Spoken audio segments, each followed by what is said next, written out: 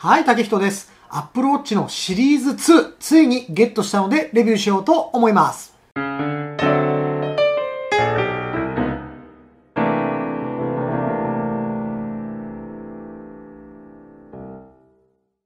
はい、ということで今日お届けするのは Apple Watch のシリーズ2になります。9月の Apple のですね、新製品発表会で iPhone7 と一緒に発表になったのがこちらですね。Apple Watch のシリーズ2です。で、これ欲しかったんですけど、なかなかね、まあ在庫がない状態が続いていたのと、ちょっとね、MacBook Pro 欲しかったんで我慢してたんですよ。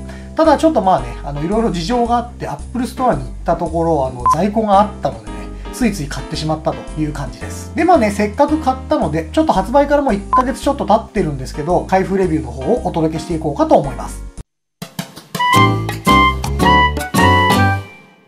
で、ちょっとね、せっかくなんで Apple Watch についてお話ししていこうかなと思います。えっ、と、去年 Apple Watch 発表になりましたよね。で、今回これの発売と同時に、えっ、と、ちょっとモデルチェンジをしましてですね、シリーズ1っていうのとシリーズ2という2つが今、現行ではお店で売っています。去年発売になった Apple Watch、それからシリーズ1、シリーズ2ともに、ベルトの部分がね、共通なので、えっ、とね、全部いろいろ付け回したりすることができるという感じになっています。えっ、とね、どういう風に違いがあるのかというのをちょっとお話ししていこうと思います。ちょっとね、いろいろあるんで、あの、カンニングしながらね、ご説明していこうかと思います。えっ、と、まずシリーズ1と言われているものは、えっ、と、去年のモデルをベースにですね、CPU を S1P というものにしたモデル。これがシリーズ1というふうに言われております。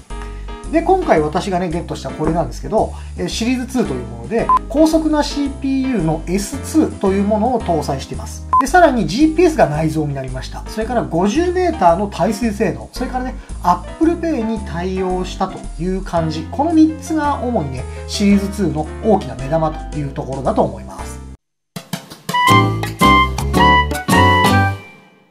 耐水仕様になっておりますので、このね、Apple Watch をつけたまま、え水泳したりとかね、海入ったりというようなこともできるようになりました。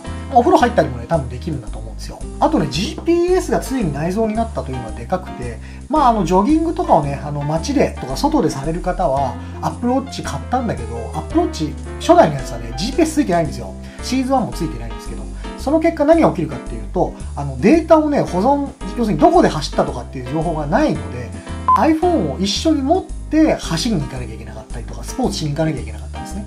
でもこのシリーズ2は GPS が内蔵になりましたので、iPhone を家に置いた状態で、例えば外に行って走ったりとかいろんなことをして帰ってきて iPhone にデータを転送ということができるようになりました。これってね、やっぱり外走ったりとかね、スポーツする人にはすごいでかくて、やっぱ邪魔じゃないですか。iPhone 持って走ったりとかっていうのは。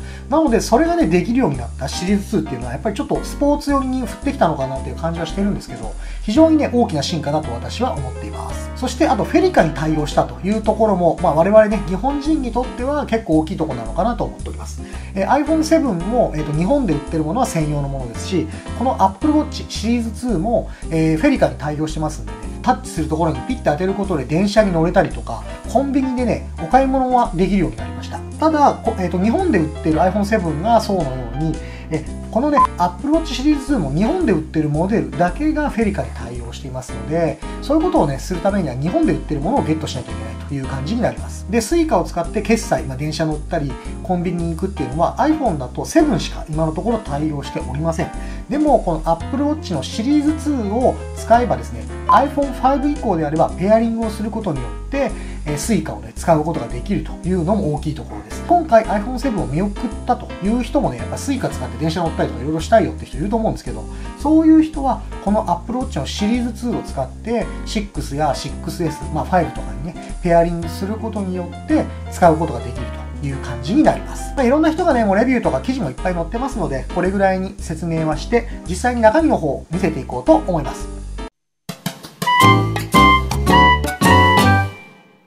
えまだね、見たことない人もいると思うので、ちょっとね、開封お届けしていこうと思います。ここね、押してる感じかな。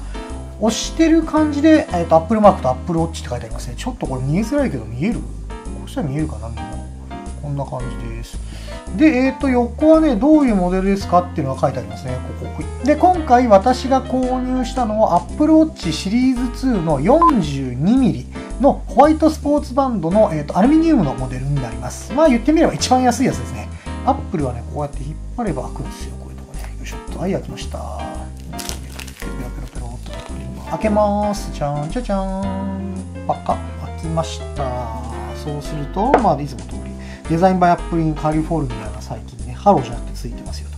まずここから見ちゃおうかな。もうちょっと本体見えちゃってますけど、まあまあみんなね知ってるようなもんなんでいいでしょう。あなんか設定の簡単なこういう手順書みたいなのが入ってるな。日本語のやつでいいです。こんなの入ってます。バンドって2本入ってんだ。知らなかった。へえ。